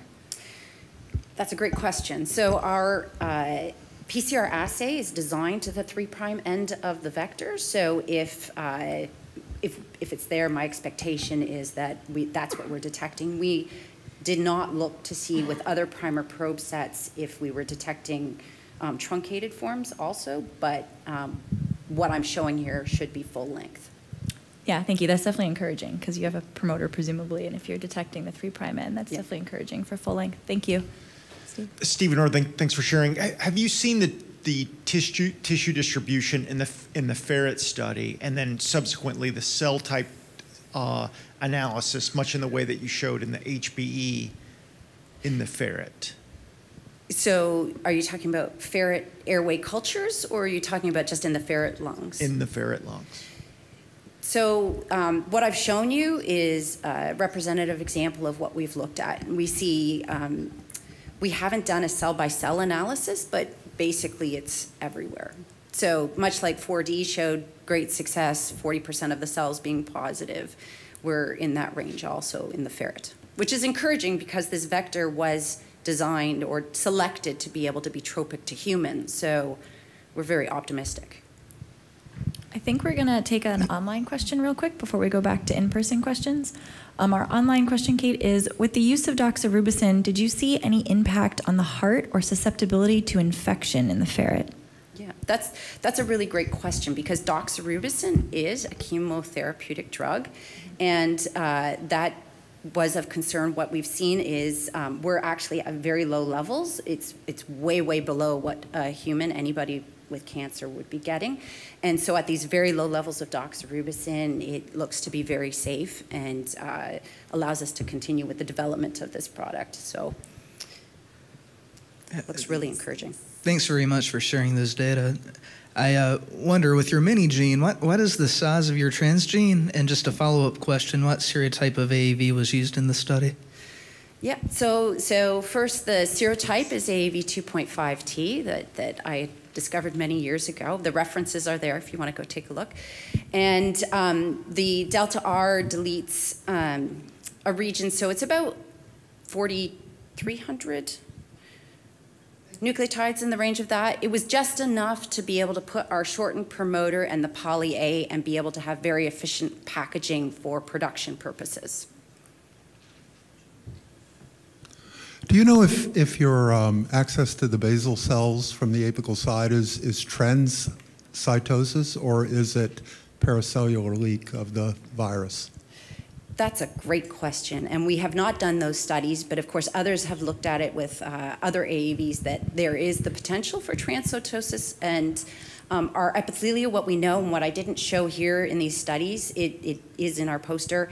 Um, they retain very strong, tight junctions. They don't change. There doesn't seem to be any toxicity. So I would be surprised if it was leak. Uh, Tom Lynch from Iowa. Uh, has anybody looked at if the if the delta R variant that you're expressing in the in the vector actually responds to Trikafta? I don't know if that's a practical thing to, to think about, but Our, our expectation is it would respond to Trikafta. Um, I, wild type CFTR often, I don't know many of those studies that people have put it on wild type, but it seems to not make a problem, or at least not have a problem with it. So um, if your question is if we get low expression, would Trikafta be able to boost it further? That's a great question. We haven't done those studies, but, but it would be exciting if you could. Thank you for a great talk, Kate. Um, two quick questions, if I may. Can you tell us what type of in situ hybridization you used? Was it RNA scope or HCR or something different? Yep, this was RNA scope that we were using. Thank you. And my second question, which I might have missed, what was the dose you used in the ferrets, and how are you going to work up the dose that you might be using in human based on the ferret transduction efficiency? Yeah, that's a great question. Anybody actually doing these studies knows how complicated it is because there's really two doses. There's what goes into the nebulizer and then what's deposited into the animal. And what's deposited into the animal is always a, a calculation and estimation. And the estimation is that in, in the, the new studies that we were doing, it's about e to the 12 vector genomes per, per gram lung weight um, in that range. Um, the, the final data slide that you showed, that there was no difference between the CF and the non-CF, but the error bars were quite big, which suggests at least one of the animals didn't respond. Have you characterized that animal in more detail? So it's it's actually not that one of the animals didn't respond. It's that we took multiple different regions. So we had nine different regions that we took tissues from, and with any gene therapy, there's just variability depending on where you pick the tissues. And so we had a lot of discussions about how to do this. The idea that I call it the John Englehart way of, of taking the whole lung and homogenizing the whole thing, as about as opposed to understanding some of the regional differences. And within an animal, there could be a region that was very, very positive and a region that was very low in expression. And so that's actually not reflecting an animal that had very low expression as much as one of the regions had low expression. Okay, thank you. Kate, I've got another online question for you. Um, what is the impact of dosing docs alone in your preclinical data? Does it affect any level of your data set? So docs alone uh, we do not expect there to be any issue. Um, the, we haven't seen anything that would uh, preclude us from going forward with it, but DOX plus SP101 is what we expect to give the real functional activity. So, great, thank you. That's great. Thank you for your presentation. Can you share how you did the directed evolution in what animal species to discover this vector? Yeah, so that work actually was published a long time ago, back in 2009, and we used um, primary human airway epithelia. And it was uh, back before directed evolution was a big thing. And so it was using a, a library that was shuffled as well as mutagenized. There was no peptide in here. So we ended up with a hybrid between AAV2 and AAV5 plus an additional mutation just something that you would never be able to rationally design and think it would work this great. Thank you. We'll do one more question, Scott. So, as thrilled as I am about the high levels of transduction in the ALI cultures, 30 to 40 percent is fabulous. I, I think the elephant in the room is doxorubicin, and even though you give a much lower dose, if you think about it, if it's by inhalation, it's administered to the lung, it's might clear into the terminal airways. You know, this is like where adenocarcinoma comes from, and the mechanisms of DOX toxicity include oxygen radical generation and topoisomerase and all of that. I, you know, I just wonder what the thought is moving forward with yeah. that.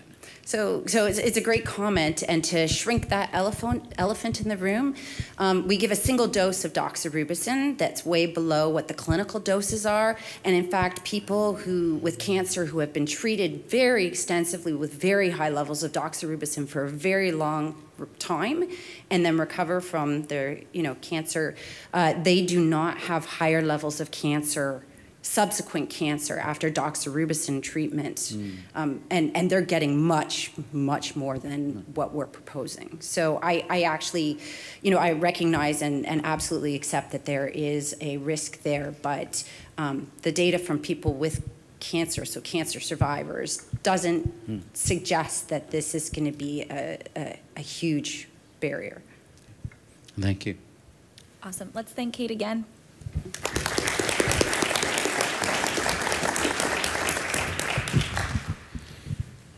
Okay, so our next speaker is Dr. Katerina Kulhankova from the University of Iowa.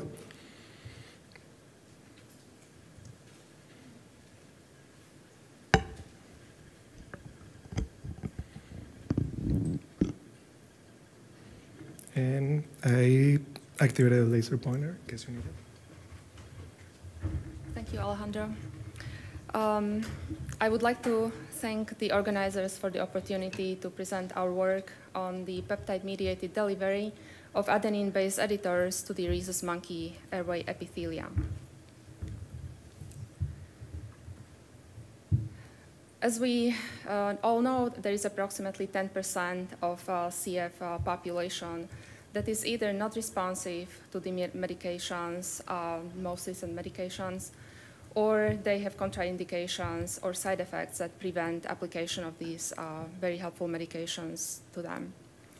One of the main goals on our laboratory is to advance the research on the possible treatments for these individuals who uh, carry most often class 1 mutations uh, that prevent the generation of the functional CF protein, CFTR protein. We focus on adenine-based editors. Among almost uh, 401 CF-causing genetic variants, there is about 66% that, are, uh, that have point mutations. Among these point mutations, there is about 46% that can be potentially corrected with adenine-based editors, and around 15% that could be corrected with cytosine-based editors. Adenine-based editors are gene editing systems that mediate an enzymatic conversion uh, from AT base pair to GC base pair. And they have several advantages, one of them being Cas9 nickase that is uh, modified to, not to not to cause double-stranded breaks, but only single-stranded nick. These base editors are, uh, uh, these base editors cause a precise single nucleotide base change and cause, uh, uh, they have great efficiency in non-dividing and slowly dividing cells as uh, are in, in the airways. They have time-limited time limited activity and cause minimum bystander effects. We have previously uh, looked at the human uh, at, at, the human mutant um, at the human cells with mutation R553X, and uh, using the adenine-based editors, we're able to edit the pathogenic uh, allele. For this, we use adenine-based editor 7.10 and delivery by electroporation. We delivered the uh, base editors to primary cells that were grown at air-liquid interface. And compared to mock, mock electroporated cells, we documented desired base change at, in 77.2% of the cells. Because this was a compound heterozygous uh, donor, uh, the efficient allelic efficiency, editing efficiency was 54%. And importantly, in functional Using assay, this proved to be a, a, sufficient editing, allelic editing, to result in a partial correction of CFTR function. We documented this not only in donor, uh, in the cells from this particular donor, but also uh, in a donor with W1282X mutation, and in a cell line with R553X mutation. However, using electroporation, we realized this is not a feasible methodology to uh, deliver to human to humans, and a major challenge uh, in delivery is, of course, how to overcome the barrier represented by uh, numerous layers of the airway epithelia and airway epithelial resistance to any delivery itself. For this purpose, we teamed up with Pheldon Therapeutics and uh, designed amphiphilic peptides as a strategy for protein delivery to airway epithelium. Amphiphilic peptides consist between, of between 24 to 34 or 40 uh, amino acids and consist of two domains. One of them being N-terminal endosomal leakage domain that consists mostly of hydrophobic amino acids, and its role is to bind and destabilize lipid membranes. The other uh, domain is C-terminal cell-penetrating domain. It is hydrophilic, positively charged, con consisting of positively charged amino acids, and mediates primarily internalization to the cells. These two domains are connected with a GS-rich linker. In this schematic, the um, amphiphilic peptide, called also, called also Pheldon shuttle, is depicted by blue circles, and the cargo it is carrying into the cells is a green fluorescent protein with nuclear localization signal. The uh, peptide binds to the membrane of the cells and um, binds to the, to the membrane of the cells, causes destabilization of the membrane uh, and uh, uptake into the, of the GFP of the cargo to the endosomes. Again, uh, peptide causes destabilization of endosomal membrane and release of the GFP to the cytoplasm. This process occurs rapidly. Within 45 seconds, GFP is observed in the cytoplasm, and within two minutes, GFP is uh, localizing into the nuclei of the cells. After that, the shuttle stays bound to the, to the uh, cellular membranes, endosomal membranes, and undergoes degradation. In 24 hours, there is no evidence of the shuttle being present. This methodology is relatively simple, uh, fast, and as we documented at the uh, concentrations uh, effective in this system, non-toxic. We wanted to document whether this shuttle peptide can deliver proteins to the airways epithelia, not only in vitro, but also in vivo. So for this purpose, use shuttle peptide S10 and uh, as a cargo GFP uh, with nuclear localization signal or sci-fi labeled peptide with nuclear localization signal.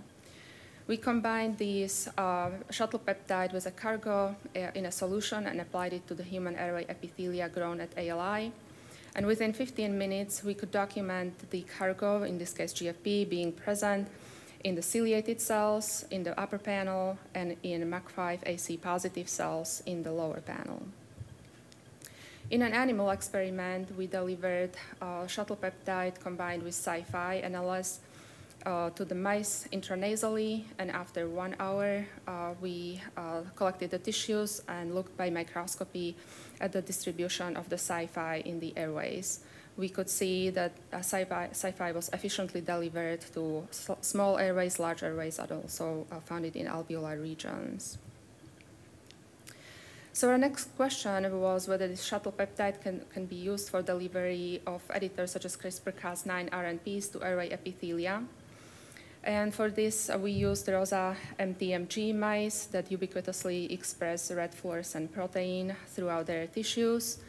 Upon successful, ed, uh, successful editing with Cas9 RNP, the MT cassette is excised and MG cassette is expressed. So the positive uh, editing is uh, displayed by green uh, expression of green fluorescent protein in the cells. We quantified that large airways and uh, small airways expressed between 13 and uh, 11 to 13 percent of the green cells. So this would be our editing efficiency achieved by using this methodology. The question was whether we can use this system and deliver uh, adenine-based editors to the airways of human non-human primates, and what would be the editing efficiency we would be able to achieve. For this, we chose um, two experiments. In the first experiment, we delivered um, sci-fi NLS localization signal, sci-fi labeled peptide, mixed with our S10 peptide by intratracheal aerosolization. And after two hours, we collected the tissues for microscopy and also collected br airway brushings for NGS. That would be a negative control for our next experiment. Using this method, we examined the biodistribution of the fluorescent peptide in the airways and in, in uh, different epithelial cell subtypes. In the second experiment, we proceeded with shuttle peptide delivery of IB RNPs, and again, we aerosolized one milliliter of uh, the solution to the, airway, to the, to the rhesus uh, trachea. And after seven days, we collected the lungs and performed airway brushings from various regions of the lungs to examine the editing efficiency uh, by NGS. We also collected additional clinical variables and also performed chest CT, pre and post procedure.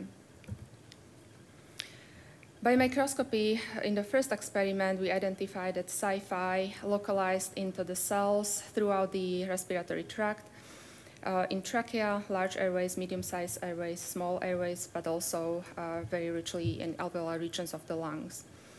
In comparison, our control uh, animal that received sci-fi alone without the shuttle peptide, we did not observe lo nuclear localization of the sci-fi by, um, if, if we would like to express what the percentage of the sci-fi positive cells we observed, in the large airways it was about 15%, and in the small airways uh, it was about 5%. When we looked at various subtypes of uh, the cells where we were able to deliver this reporter peptide, um, we could see uh, nuclear localization in ciliated cells that are labeled with the red acetylated tubulin antibody, and in secretory cells that are depicted by green granules. In alveolar regions, we observed Cy-Fi nuclear localizing in alveolar type 2 cells, but we also observed uh, Cy-Fi, this, this time cytoplasmic in macrophages, uh, and uh, this finding actually underscores one of the properties of the shuttle peptides that were designed to specifically deliver the cargo into the epithelial cells rather than any other cell types in the lungs. I apologize for the formatting changes that, uh, that are occurring right now. So uh, before we proceeded to administering adenine-based editors uh, into the rhesus airways, um, we decided to uh, perform a few in vitro experiments, and for these experiments, uh, we chose CCR5 locus and editing within this locus uh, as a safe harbor. So by the red letter, we denoted uh, our target nucleotide that after editing uh, changes to G with um, C on the, uh, on the contrast strand. We applied ABE AE RNPs mixed with the shuttle uh, variants in this case at the rhesus airway epithelia grown at ALI and uh, selected two shuttle peptides for the future in vivo experiments. We documented that parental S10 peptide had editing efficiency around 5% and further developed S315 shuttle peptide had much, be much better delivery properties and uh, resulted in editing frequency around 9%. So we are proceeding with the second experiment, administering this, uh, this solution uh, with AB RNP to the rhesus monkeys after seven days, obtaining brushings from various regions of the lungs, uh, including trachea, both uh, left and right mainstem bronchi, and uh, large segmental airways. We also chose one uh, distal location that would be left lower lobe subsegmental airway. On airway brushings that we obtained, we documented types of the cells that we are collecting, ciliated and non-ciliated cells. In our NGS analysis, we documented that appropriately the controls that we used, in this case, the control monkey from the first experiment, and then in the second experiment, RNP alone, or RNP administered with S10 peptide did not result in significant editing. But the two subjects that were administered uh, adenine base editor with S315 shuttle peptide uh, documented great amount of editing that ranged from 0.2 to 5.3 percent, depending on the regional, uh, regional uh, location of the brushing. We proceeded with translational application of this approach, and uh, for this we chose donor, patient donor cells with compound heterozygous mutation R553X and L571X. The cells were grown at air liquid interface, and we administered the shuttle peptide, either S10 or 315, uh, with adenine base editor RNPs. We documented by NGS that both of these shuttles were effective in uh, successfully mediating the base editing uh, with, with, this uh, base editor. With RNP, RNP S10, we documented the mean editing efficiency about 2%, and using the S315 shuttle peptide, editing was uh, about 5%. Importantly, in functional assay in Using chambers, both of these shuttles are documented to be effective in mediating the uh, adenine-base uh, editor editing uh, that resulted in partial functional restoration of CFTR current.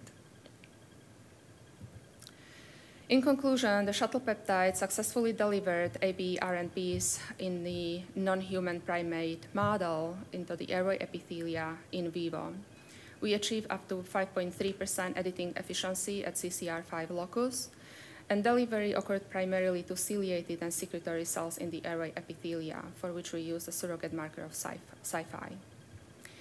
In human airway epithelia in vitro, we documented the shuttle peptides were successful in, the, in delivering AB RNPs uh, to the cells and uh, achieving the editing efficiency up to 6%, editing R553X locus, and resulting in a partial functional correction of CFTR function.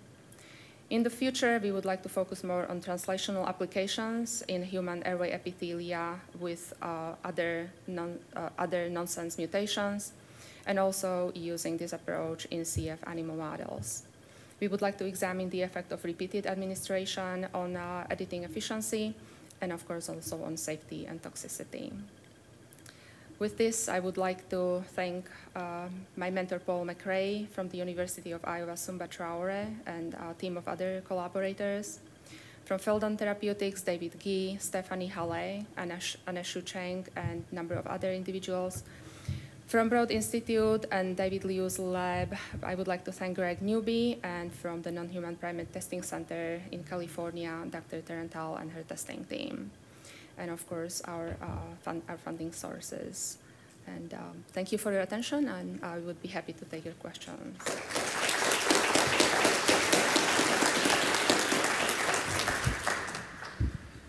Okay, we are ready for some questions. And um, while the audience gets the microphone, I wanted to ask you, uh, uh, Dr. Kulhankova, um, what is known about the rate limiting step um, for um, delivery using this shuttle? Um, and is this something you can kind of like rationally design your, your shuttle modifications to overcome that step? Right, so uh, each shuttle is specifically designed for a, a, guide RNA that delivers efficiently. So there is um, modifications that could be applied to make each shuttle very specific for the mutation and the location within the genome that we want to target. So I would say that is a rate limiting step there optimization of, of this process. Thank you.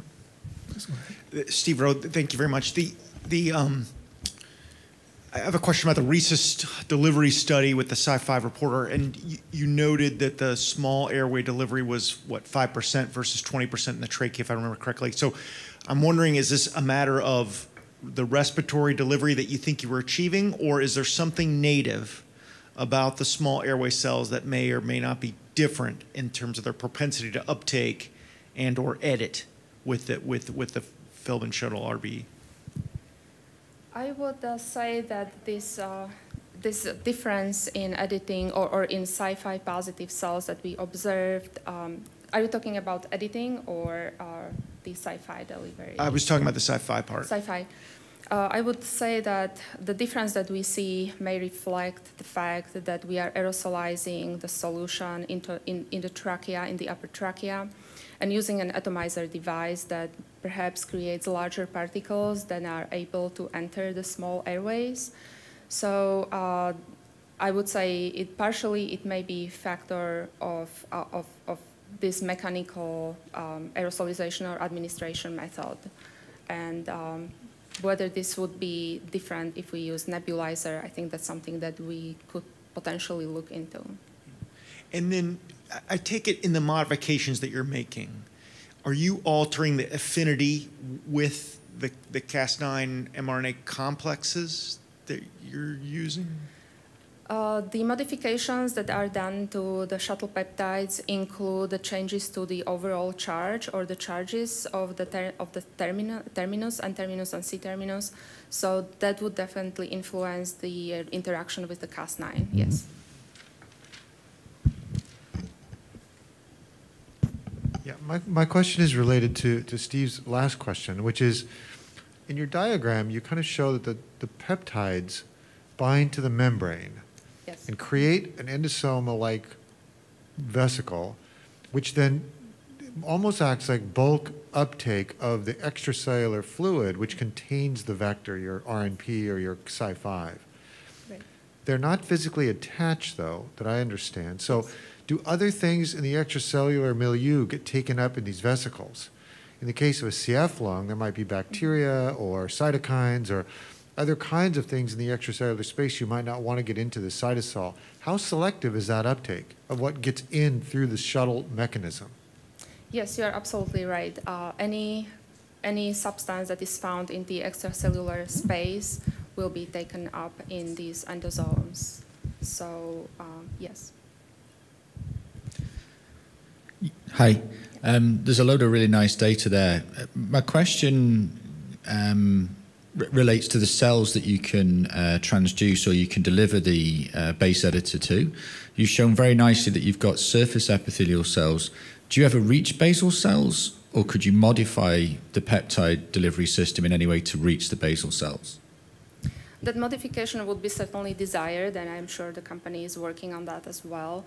What we observed in our study, uh, we could find sci-fi localizing in occasional KRT positive, KRT5 positive basal cells. Um, it was not as robust as seeing the sci-fi in other cell types. So yes, it, it was present in a very small degree. Thank you. Thank you. Katerina, I have an online question for you. Yep.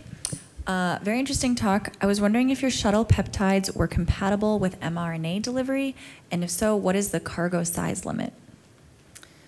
So, uh, since the peptide do not really engulf the cargo or anyhow call, create any kind of delivery vehicle vesicle, uh, the size is not uh, a concern. So this would be applicable in mRNA, mRNA delivery as well. Thank you. Very nice presentation. A question for you is, what do you know or anticipate about the immune response to the delivery of the shuttle peptides, as well as the adenine, adenine base editor? But I'm focused mainly on the, the shuttle peptide. So these studies are currently under, undergoing in our collaborating lab. Uh, preliminary data suggests that there is no immune response to the shuttle peptides, but this is still under investigation. In the mouse studies that were that are presented and that were published before, we looked at the immune responses one week after delivery, within one week uh, period after delivery, and there was a slight increase of primarily anti-inflammatory mediators. One day that decreased rapidly the second day, so we don't anticipate these uh, shuttle peptides being pro-inflammatory or immune-inducing, immune response-inducing. Thank you.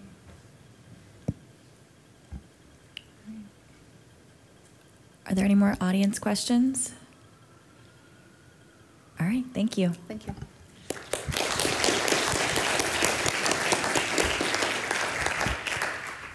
So, just to wrap up, I want to thank all of you for staying for the very last session. I hope you'll agree that we had some really excellent talks, um, some very thought provoking data, and some really encouraging preclinical data across several different types of genetic therapies.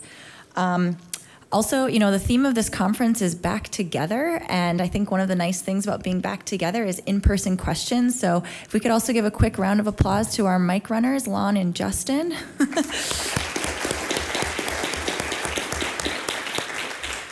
Yeah, so thank you again um, to our presenters and to all of you for your attention. Thank you, and we'll see you at the closing event.